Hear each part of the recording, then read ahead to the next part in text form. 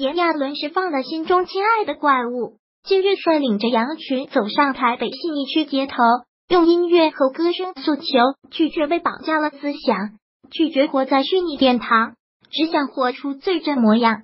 同时，希望大家不要忘记初心，遗忘了最真实的自己，要为自己的心注入勇气和希望，找回隐藏在心中的原始梦想。记上一张 EP 最想去的地方之后，炎亚纶把自己这两年来对自己的反省。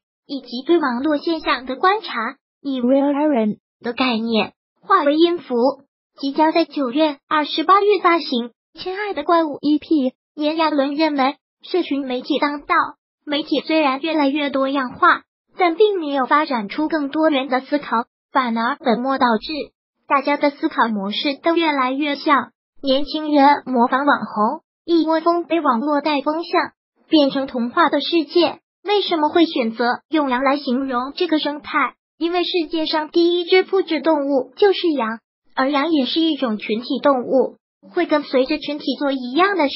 每个人都是独特的，每个人心中都有一个独立思考的小怪物。希望大家不要当随波逐流的复制羊，要把心中的小怪物释放出来。浩浩荡荡的羊群十分引人注目。炎亚纶背着吉他。与乐手弹唱起新歌《亲爱的怪物》，抒情摇滚的节奏令严肃的一体音儿增添了柔软的气氛，也让炎亚纶想要表达的意念能够透过音乐更轻易的传送到大家的心里。原来炎亚纶一直很喜欢英式摇滚曲风，也很欣赏 Coldplay 酷玩乐团的音乐，从他们的音乐当中得到很多疗愈。第一次在公开场合走唱，这样的表现方式。让炎亚纶觉得很自在、很轻松。他笑说：“走唱是一种氛围。”Coldplay 的 MV 也用过这样的方式呈现，所以我把它加在快闪活动里，感觉真的很好。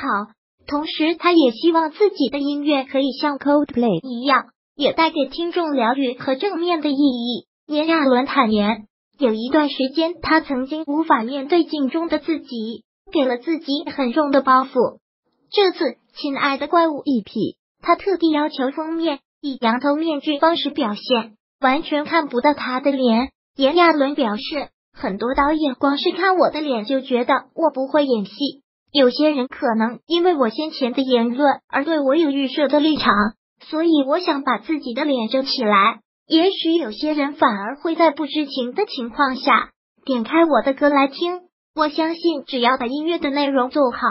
就可以把我想要表达的概念传达出去。至于要怎么活出最真实的自己，炎亚纶表示，首先要找回初心。可能在社会化的磨练中，曾经有的梦想也随之沉睡了很久，于是整颗心变得空白、空虚。但炎亚纶认为，希望大家在散发自己独特光芒的同时，也要重拾心中的梦想。梦想并不是那么遥不可及的。只要有心，就算是缓慢、逐步的前进，最终也可以达成。就像他自己对吉他有兴趣，这几年来都会在空档的时候慢慢练习，相信持续的累积也会有所收获。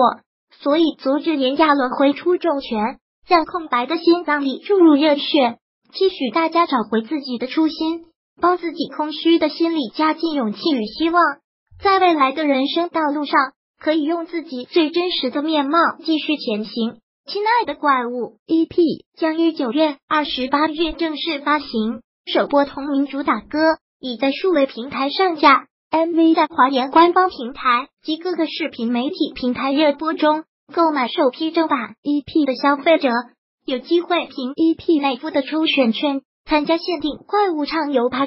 接下来，炎亚纶也很快将在内地举办今年的第二场粉丝见面会，详情请关注炎亚纶官方粉丝专业、华研国际官方社交平台以及官方微博。来源：环球网综合。